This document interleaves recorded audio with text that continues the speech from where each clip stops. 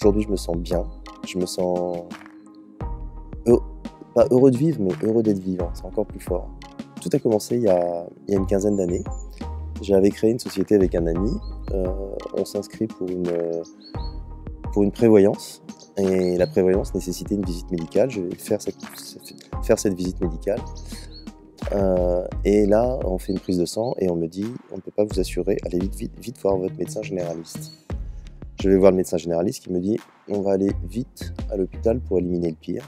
Et là, euh, une hématologue, après m'avoir fait un prélèvement de moelle osseuse, euh, m'annonce que je suis atteint, je me souviens de la phrase précisément, je suis atteint d'une leucémie aiguë nécessitant une chimiothérapie lourde dans un centre de soins intensifs. Là, ça a été le début de l'enfer. Euh, une perte de repère absolument totale. j'ai dû affronter cette première leucémie il y a 15 ans.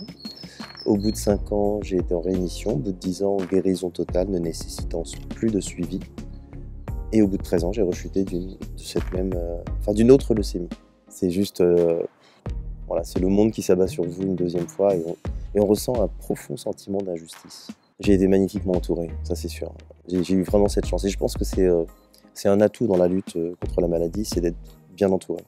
Comme j'aime écrire, j'ai décidé de tenir un blog un blog au jour le jour avec tout ce que, que j'endurais, mais toujours avec un ton humoristique, en essayant de trouver le positif dans le négatif, parce que je considère que c'est la force de la vie.